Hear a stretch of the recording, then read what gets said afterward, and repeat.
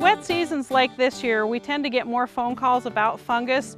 And if any of you have ever seen mushrooms in your yard, they will often get started on decaying organic matter such as a dead tree root or potentially construction debris in a recently constructed home. And in this lawn, we have what's called a fairy ring, which forms a circular pattern as the uh, mushroom colony expands from the decaying roots of what was a tree that has been cut down here in this yard. If you have fairy ring, there's not a lot of really good means of getting rid of them, and they're actually working to decay that woody organic matter that's under the soil surface, but they aren't really all that pleasant to look at, and a lot of people really want to get rid of them. What you can do is core aerate the lawn so that you puncture through that hydrophobic layer and then fertilize the lawn in order to mask the breakdown process that's providing nitrogen right inside your circle.